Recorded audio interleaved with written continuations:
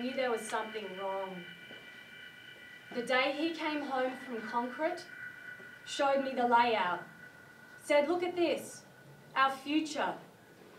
What a stinking shitbag, I said. You call that a future? He was showing me plans and drawings of a farm he wanted to build in the country where the children and I could stay away from the shit in the city.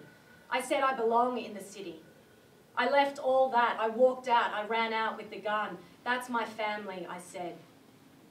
You know what this shitbag does? He writes an open letter in his bourgeois left paper admonishing me, telling his audience Ulrike will come back.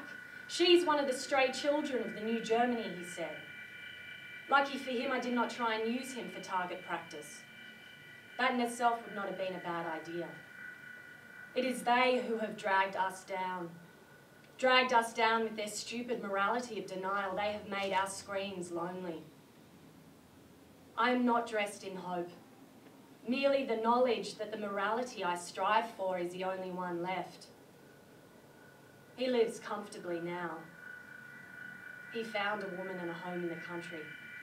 He found his holy family. I found mine. The first robbery was like the first fuck. I knew there would be no glory in my world, even though my comrade Andreas, my lover Andreas, hoped there would be. But when you watch those you love either shrink or explode, glamour becomes something only an artist like Andy Warhol can understand. The rapid movement of cowardice.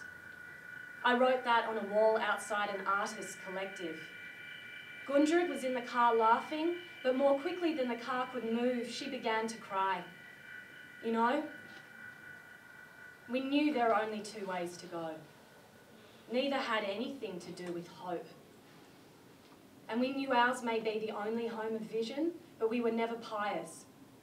That is the house where the bullshit left live. There they construct a tyranny of lies to keep their grotesque sense of glory alive, while murdering those who have taken the words of the only prophet seriously.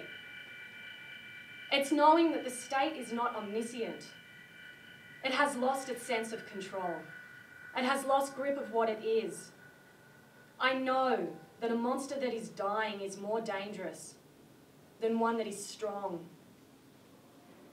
But you know, they are so lost. They are the stray children of the new Germany. After the first robbery, Andreas and I arrived at the safe house. We count the money. He wants a Porsche, a better getaway car, he says. I want better guns. We have a fight and I hit him. I was always more physical than Andreas. We found local hoods and they sold us the worst pieces of shit. Jesus, we were not exactly naive, but we were unused to the demands we would have to make we learnt quickly. Later, there was no quarrel about our weaponry. We arrived at the best and we knew what to do with them. They were not ornaments like ideology is for the left. Fucking shits. These fucking murderers. And they called us murderers. They said you would bring down the state on us, and for years the state has not only been coming down on us, it's been kicking us in the teeth. When they attacked us, I could see how clearly these fuckers needed faith. Like men once needed gods, they want faith. Not to transcend this stinking fucking shithole, but they need a faith to keep a life not worth living livable. I knew there was no faith left. These people want to wait for the working class. They keep still with their myths. They wait forever. But when any element of the move start dancing towards change, they kick them in the teeth. Say no. This change will be dangerous for us. This change will hurt us. Meanwhile, these apes hold hard onto their party badges and their stupid party lives. Even the young, these kindergarten followers of Mao. How easy some people let themselves be betrayed. The party does not even need to develop good lies. A few dressed up ones from the 30s will do. They need the lies. This place has burned them in less than a decade, and we can no longer talk about history. No. Another demonstration. Another strike. That will keep them and their rich happy. They call us murderers. We are not. We are assassins. When we kill the rich, they change their lives. They have to live another way. They don't go out alone anymore. They become more honest about their friends, the mafia, the thugs they always bring out when time demands. And anyone who believes these stormtroopers were asleep is a fool. One hit on the skull teaches you more about the state than 20 paperbacks. The rich's life will never be safe now. We are everywhere, and every one of us they murder, another 10 of us will move.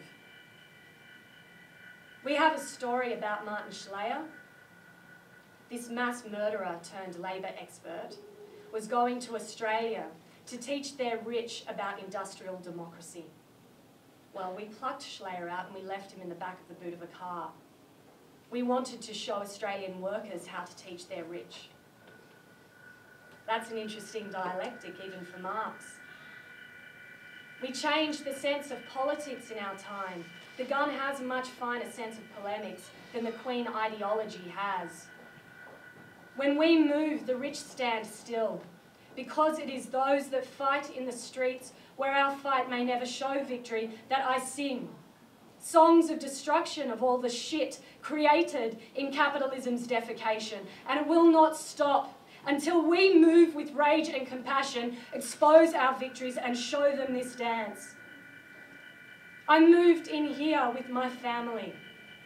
I wanted to destroy, to destroy, to destroy the buildings where my lovers shrink, to destroy the streets where my lovers fell, to destroy the earth built to drain my lovers' arms, to destroy constructions where my lovers explode. I needed to build an earth to strengthen my lover's arms, to be an honest voice. I can remember being asked by an old immigrant worker. She asked me, pointing to the sky, Do you wear underpants? For I fear the world does not. She said that the sky was bursting, and I knew it was and that even if we failed, we had to show the enemy that we could not be controlled so easily, to be turned against ourselves. Once everyone claimed we should fight together, but when it came to the real darkness, they all pissed off. They went running to their drugs, to their Indian holy men, to their banal dogmas, to escape this darkness that could be wiped away with a single strong fist my husband, a pretender. He starts this magazine so all those of the left persuasion could write their analysis. And they have just kept on writing their analysis. Like good Jews, they will keep writing their analysis as they march towards the wash house, as they enter the sky as a bursting flame. Like sloppy painters, their language will become more obscure and their behaviour more pious. Their friends, all those that live with this monster in the new Germany, have developed such delicate ways of surviving with it. They film their alienation to win awards at the palaces of the dying culture of the bourgeoisie and yell plaintively, Let me in! Let me in! And our poets who once had tongues make out they're either in East Germany or Tibet and they ask us to listen. While I am cleaning this gun, I have been looking at you as indeed I know you never look at yourselves. And I ask myself, could there ever be a Gudrun Ensslin out there? And there's no hope, there's no comfort in knowing your place but I want to go on. You may more clearly see yourselves. We had to start our organisation with all sorts of shits saying they knew where they were going. No one knows where we are going. No fucking one knows. And then we pulled out the gun, how suddenly their vision disappeared, how quickly it became a plea for understanding. We, we don't want to be understood. We don't want analysis. We want fear. We know what brings about change. We know what brings about your dumb silence. There were amongst us many I loved, many I cared for. They said, We want the new world. But they kept on collapsing, they kept on falling over, and I could not bring them back. I could not lift them up and say, Here we go then, up again. Some of you just want to sleep, but listen, sometimes the end of the world happens in the cold silence of night. Look, I'm not here as a teacher. They all left when the ice of our century made itself perfectly clear. Nor am I an icon that you can keep quietly away. Then we started. It was clear where the rest of you had gone. Your lives would be spent on developing the most discreet forms of survival. You could call hope and dress it up as chance. And your holy men were so very easy to see. Just clumsy men, aberrant forms of an alienated bourgeoisie. What they had to tell you, you already knew.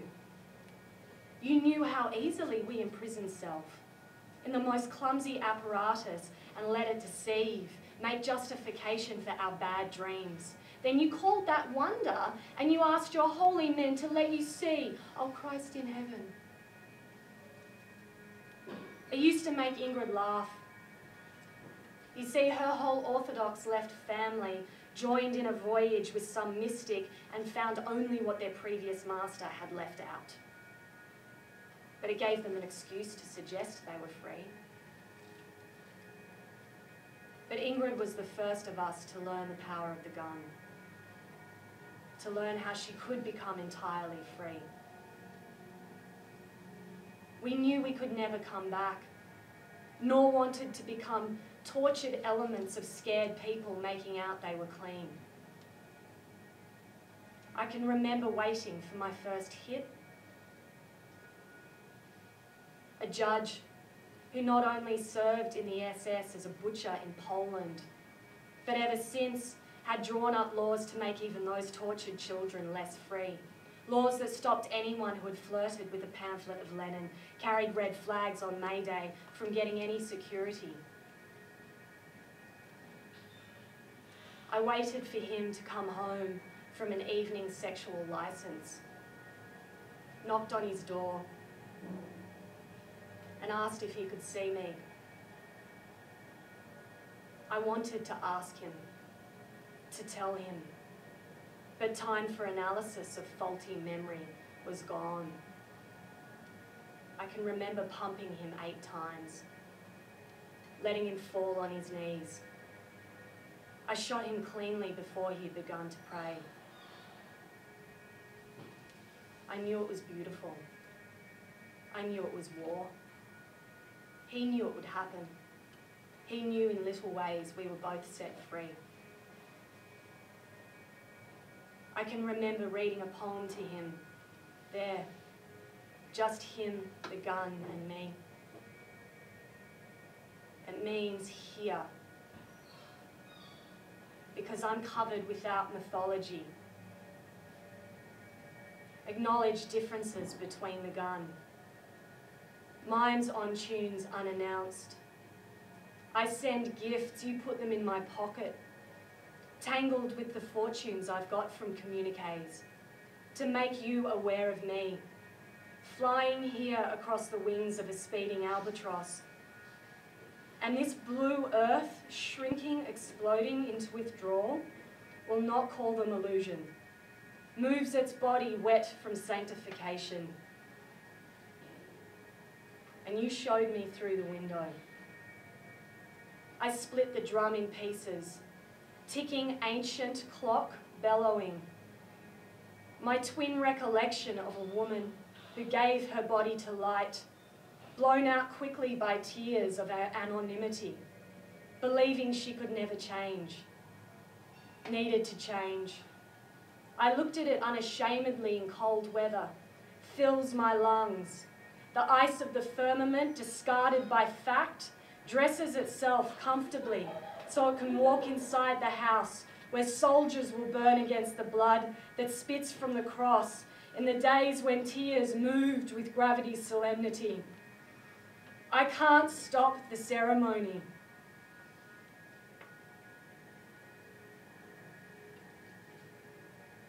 I laid him against a fireplace. I knew. He knew me. And there was no sense of loss, only of gain. From then, the act of assassination became no longer a mystery to me. If it was a coarse act of murder, then it had to become known, to see. It wasn't as if it became like opening a book or closing a door. Each assassination hits me like the most beautiful sense of beauty known to me. Andreas used to treat it a bit like a Hemingway. Not sensing or understanding of the bourgeois affection of the matador. He would play with his prey, letting them pretty well know, knowing ultimately that he had the time and they would lose the space of shelter. It was this in Andreas that made me want to pull back. Not from work, but from the failure of men. Because women, when hurt, search for clarity. But men, when hurt, run to vanity. Women climb on the back of their arrogance and turn it away from fear into the beautiful dispatchment camp of hate. We have a power. When divorced from the banality of the collective grace, which bends us, burns us, burns us down, sending us outside barriers only the vain could create. Because the stupidity of a man's violence has no kinship with hate. It's a petty kind of misery, better suited to novelists than it is to guerrilla fighters. A woman's place, rather than in the home, is in the heat of fire. But my lover Andreas was born to be weak. Good men try to transform that weakness, carve it into stone, carry that stone into the centre of anguish. Andreas did that as best he could, but his hands were too often gentle and only sometimes strong. But his body sometimes could show me what was wrong. The curve of the skin against a history of shame. The curve of the skin against a history of blame. When we used to sometimes hide in France, I could see that he wanted to return. Not to fighting, but to such elemental forms of misery. I would suggest to frightened Andreas, where your voice starts fires burning inside, a mouth wet from escape. Generals don't count the bodies in Chile, Cambodia, at home. And when your body has formed a clenched fist, stroking a sound created in gutters, despair will throw its fingers in your throat until you vomit. Essence, knowing. Struggle is a word too complacent to use to paint your presence. Banality offers weapons freely in the battle to free you, but only fixes tightly the lock, and the mind mushrooms with no balance for explanation other than to say there are peoples whose ideas copulate with isolation and pressure is applied to them to hold on to the absolute when it has gone with the century's wind and nothing will restore it.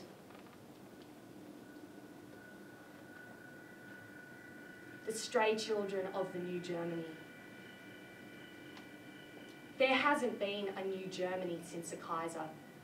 This new Germany is just a heap of shit left by groups of SA boys, a heap of shit left to keep the stench of their diseased morality alive.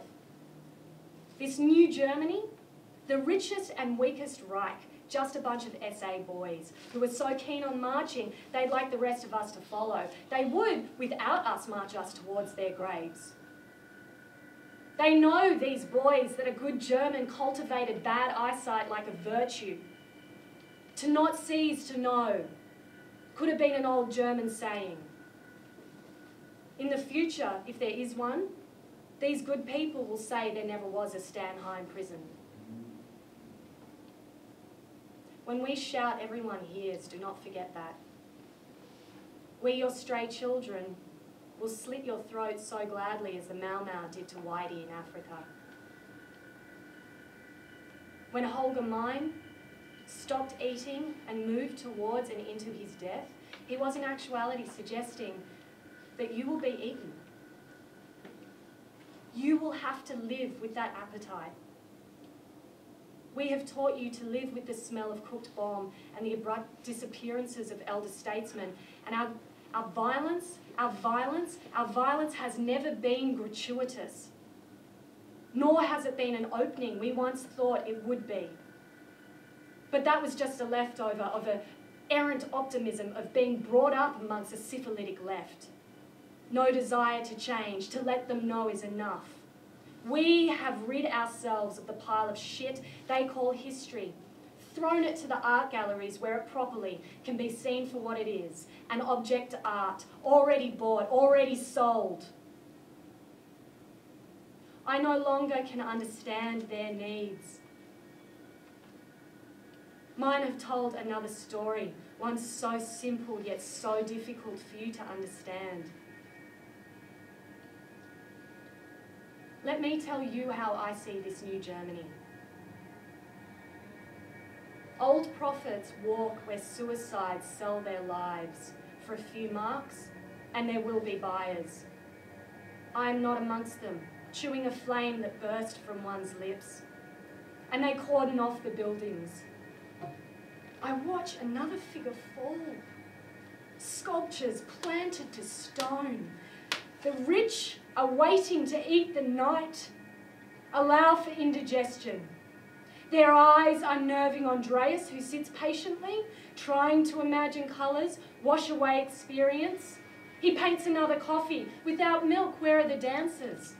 While trains shunt each other like volley shots, while the cops make sure a man is a man, a woman a woman, themselves themselves. There are no oracles left. Their time is spent remembering what is left of the future. A peasant goes home, does not recognize the new Germany as part of his universe. Ah, tractor moves attracting suns to scratch the edge of Germany by day here, where everyone's a foreigner, there are no reunions, only banquets of flesh, washed down by hallucinogen. Call them habit, Goethe did. And there are simpler names for the new Germany. You are haunted by the ghost of your occupiers. A flag is hoisted. I collapsed, revived by imagery, stolen by escapism city. Where there is fusion, Hegel is left swallowing himself, trades his work for bananas and free entry. To gallery, heroes have vanished.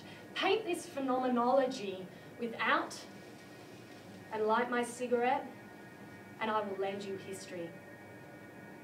It costs nothing, is not remembered, and even the moment is not our own.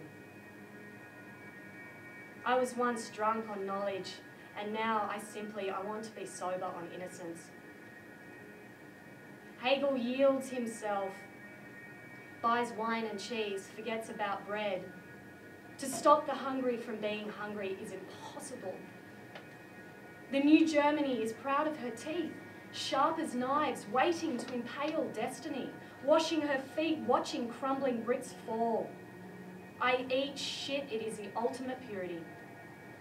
Has a name, but is not locked into your abyss, unmentionable word or music, here, where steel air disappears, when night takes its wind behind your curtain, where slave traders meet to discuss exchanges, namely commodity units, namely humans, only seen in the saxophone wail. And you will not remind yourself until self discovers how your litany is a cancer. I'm always left holding hollow days wrapped in the arms of a mother waiting at the train station for some money to buy wine for her children's future, captured in the thousand yesterdays. And she will, and I will not. Pay for our sadness, and what I now measure as your last moments is only worthy if it walks through your sound and breaks through to let to let Gudrun and Ingrid's violent lips separate your minds. From its place, In the world, there is very little left for you to listen to. But we are very good talkers, and we know you will soon listen. Look, we don't want your sanctification, nor a blessing that you would never understand. We want your good German ears for a second. The delay will cause you, will disturb you only as much as you have disturbed yourselves. Call that addressing yourself to the present. Let me dress down your anonymity. I will make confessions to reduce signs of your idle malady, where possibility will arbitrate between possession and broken gifts, to deny your hope for rituals to redeem you. I will engrave love, give precision to the actions I take and the woman I have become. Look, I don't want or need to become your icon. That is just another form of slavery, another cousin to habit. And for me now, any of your tired explaining would bore me. And I have a right to my special kind of silence, the silence brought by the unique power of the assassin's gun. Because in that state of clarity, there are no secrets. Nothing is for keeps. Here, where cities burst in shallow light, where gods sell themselves on street corners, assassins enchant areas of your breath, create centres where we hit. Holger used to say this place was chained by theory, but the theory itself was no longer a weapon to open anything anymore, that had become a burden theory once had a part of enlightenment, but that it now had obscured our sight, and that, in fact, that had become its intention. Holger starved himself rather than face the guise of stupidity dressed as analysis. He died strong in a casket we built. His sleep had honour. I want to remind you, Holger said, there's no turning back. No theory, just never turn back, come forwards. That could have been our incantation, if we needed incantation. But we gave that up long ago. I wrote a letter to my husband.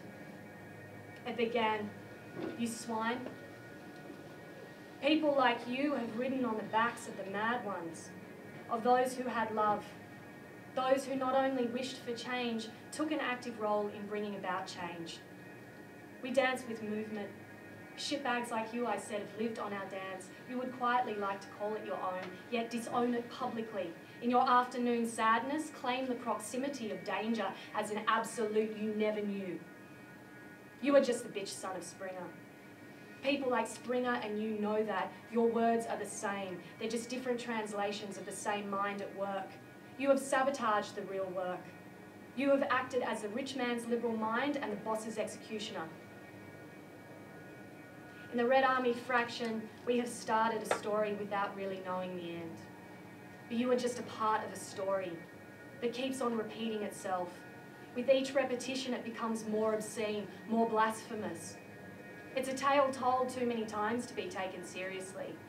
Yet you pump it out pompously like a bad detective in need of, of, of, of, of, of, of evidence.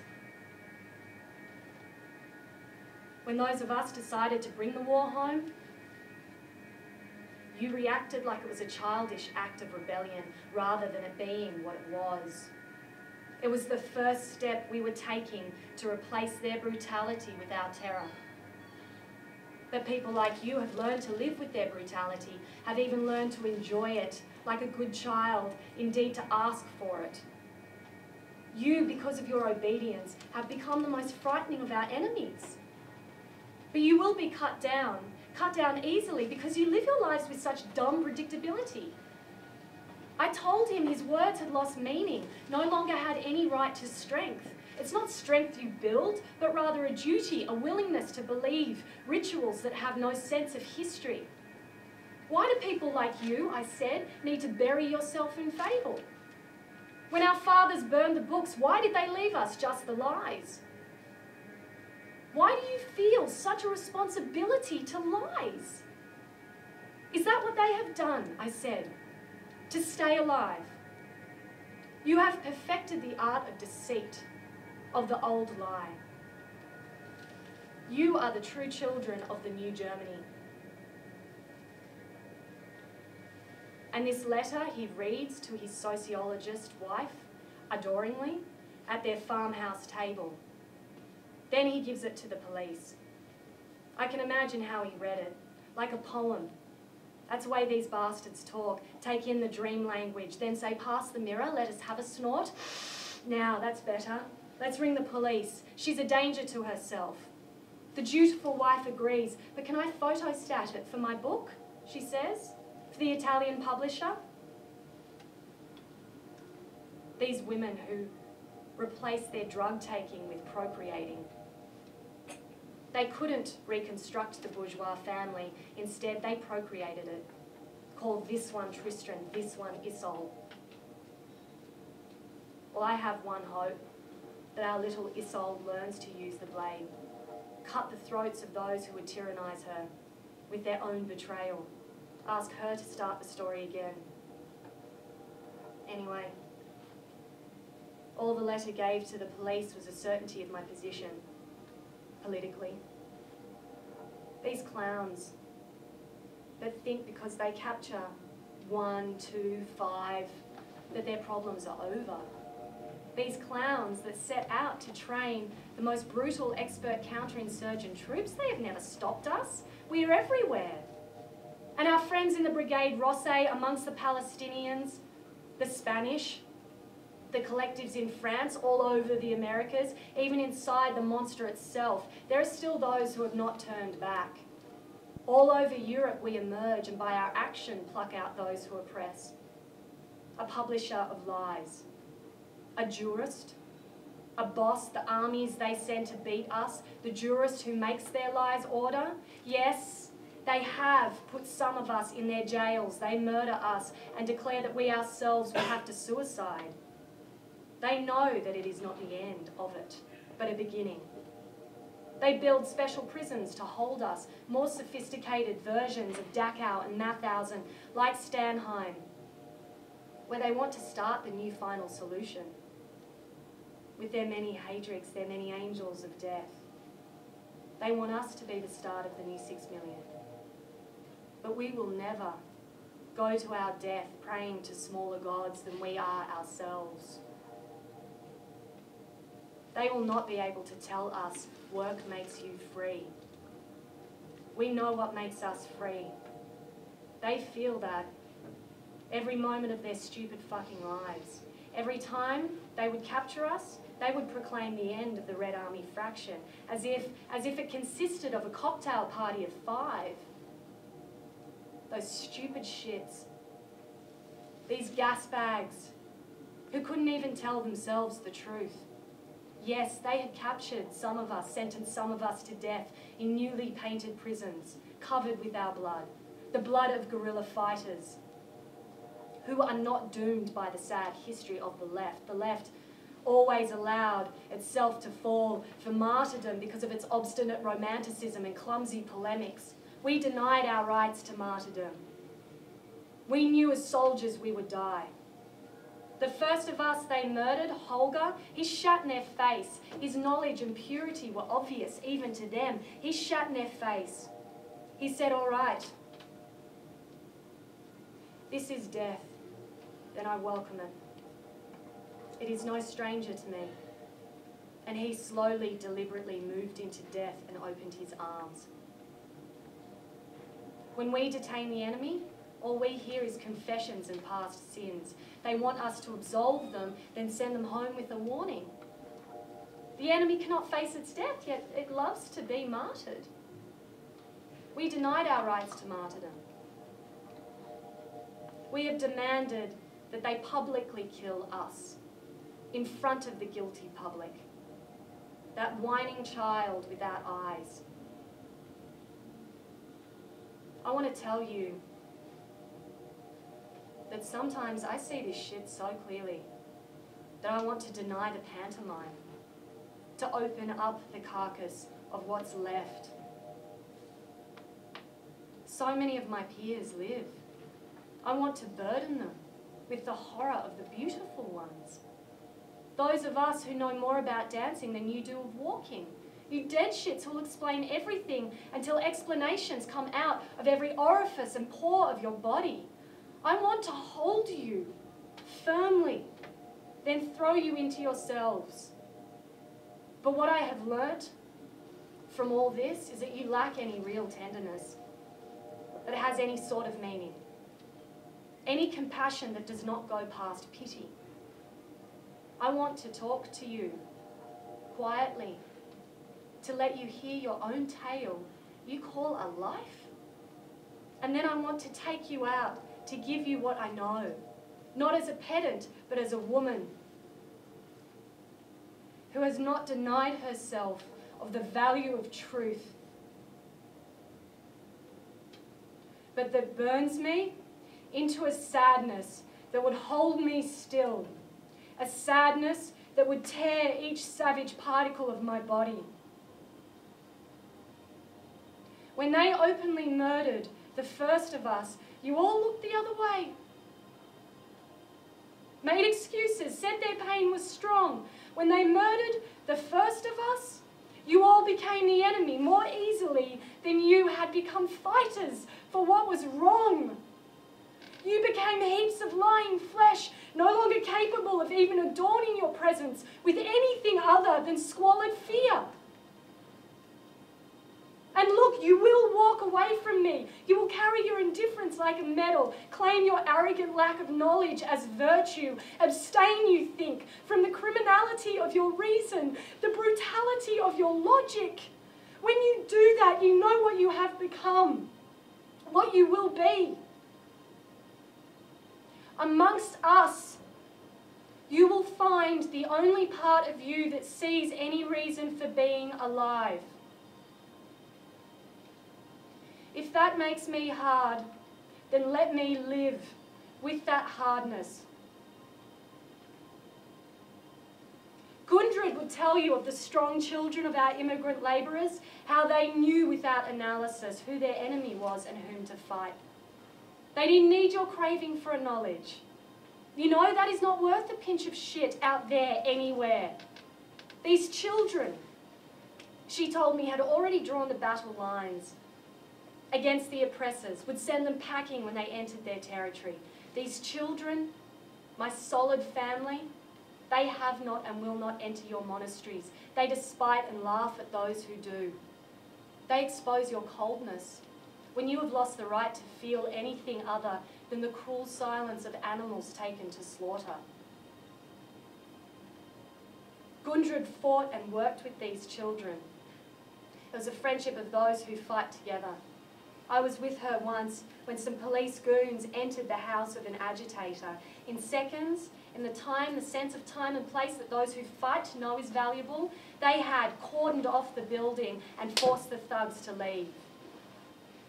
The enemy knew its luck. We stayed with these people. We knew what world we belonged to, on what side of the war we belonged. You suggest we are the stray children of the new Germany. You show you bastards who is lost and who is found amongst you, and the first of you that steps up and is not a warrior, then let him know he will be cut down. What is somewhat worse, perhaps even funny, about the kinds of ironies you live, you will most probably cut yourselves down. We who fight will never remember you. You will not be worth remembering.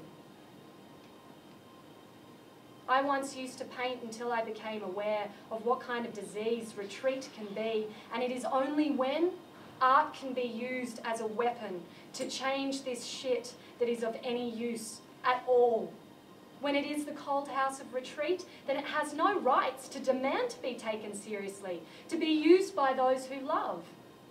I once used to paint the world I knew I would never see. I used to paint people as they never were, in the hope they would become stronger. I left all these paintings back at the home of my husband. He'll want to show them. It will give him the kind of tears he knows have left him. I have told you, yes, I have told you. When our fathers burned the books, they left us with the lies. You will use them as ornaments to fill your living quarters, to eliminate any reminder of the blinding light you know we'll all see. Art was not a mirror to look at life, but a hammer with which to change it. So said a poet who actually knew the meaning of work. I knew I could never go back to painting, to journalism, the scum that held the old life together. I could have been blind. They murdered my lover, Andreas. He was such a clumsy boy in search of the centre. He knew he could only achieve through the elimination of the enemy. They walked into his cell at Stammheim, said, Good morning, Andreas. Let me shove these plastic spoons down your throat. See, at Stammheim, they didn't want us to kill ourselves. They wanted to murder us with their own hands. A large man grabbed Andreas while another tied a rope. They threw him on the floor. Anything you want, boy.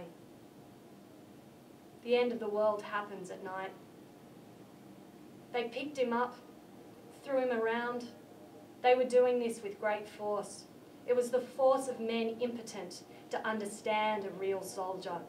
All the while, Andreas swore at them. He swore at these fuckers. He knew his life would be avenged, that these bastards would be picked from the swine.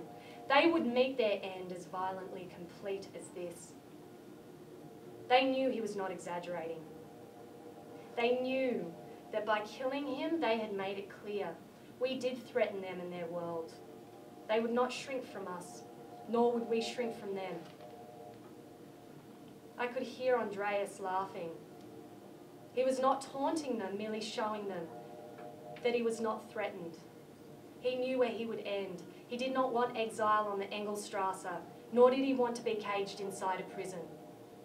He at last knew that he threatened them, that although he had not completed what he had set out to do, he had done enough. He laughed with the freedom of a victor who knew his death would give birth to the moment these SA boys, these prettily dressed fascists, were killing him in their impotence. Without really knowing, one of them pulled a knife, placed it firmly in his chest, and kept on stabbing until even the last gasp could be heard outside his cell. That gave us freedom. That gave these bastards no explanation for what they were doing. It frightened them. Andreas knew he had replaced the fear they were projecting on him, had been replaced by their fear of him. Not as a man, but as a sign of what was happening to them, to their world. He gave us freedom and them jail. After they killed him, they hung him from a hook in the ceiling, saying soon that our Andreas had suicided. They couldn't even keep their murder of him quiet. His shouts were like rifle fire to many ears, and if you did not hear them, then I would watch out. Because with failed sight and failed hearing, you will not hear your house being surrounded. You will not hear your door collapsing. You will not see the beautiful face with gun in hand staring at you. And if this is not clear to you, then do not ask for pity, because you have no grace. Because you were the little man handing the other a rope. It was your hands that felt the thin line of Andreas's body, your eyes staring through the glass door, your breath panting as he slid the knife in. Do not ask for clemency, because you will have lost the power to have the clarity of death. After they did what they did to Andreas, we fought back, sent people like Schleyer to meet himself on a lonely road in Switzerland. We took his life summarily as they had taken ours, and our brothers and sisters in the rest of Europe emerged into action. We fought back. By his death, our forces multiplied. Like any organisation faced with extinction, our many new friends picked up the gun they knew then that this voyage was and is never romantic. They replied, saying to our enemies, Endure our hell. Endure our hell. Remember, it was they who first stained the earth with our blood. Our terror was a reply. When they built Stammheim, it was in full awareness of the war that was being waged. It was a monument to the world they were creating. Let those who call our courage madness, let them ask themselves for what reasons were buildings like this made? Why did they set up the biggest counterinsurgent force in Europe? Why did they institute laws early in the 60s to block individual freedom? Let them ask themselves questions they are afraid to ask. Even dumbest of you know the answer. As we emerged and acted, the chance of being caught became more likely. The chance of the murderer's hands being wrapped around our throat became more likely.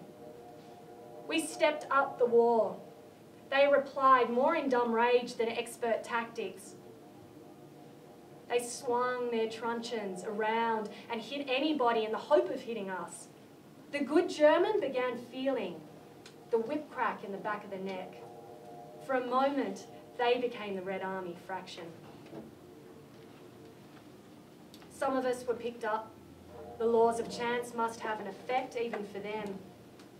But again, they thought they had an organisation when they only had a few of its fighters. You may stop a revolutionary, but you do not stop a revolution.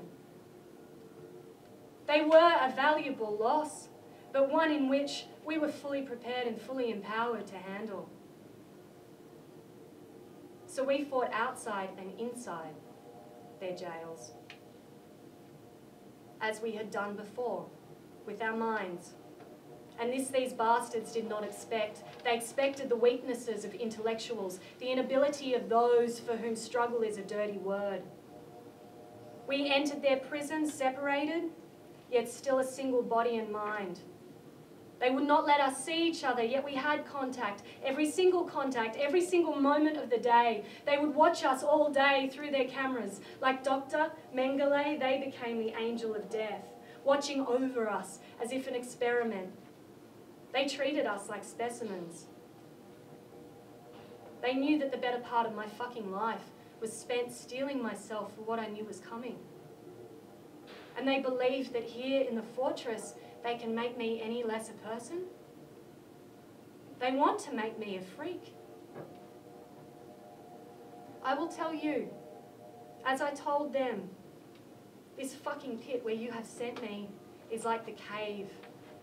Milarepa, Learn to start observing. It is here in this pit, you fuckers, that you, not I, will meet death. Your whole fucking stinking corpse has lied longer than it ought to. I claim victory. You cannot take that away from me. I have doomed you. You have set me free. And it was there I learned how to talk again about you, while every day you would come into my cell, tell me today will kill you. Tonight will kill you. They expected me to be like a frightened child of the rich. Instead, they found a warrior built in me. They would tell me they were going to fuck me, to defile me, to make an example of me. They would tell me what they had done to others. But it was a crippled animal talking to me. I would ask them how they found their days. And how empty did they find their nights?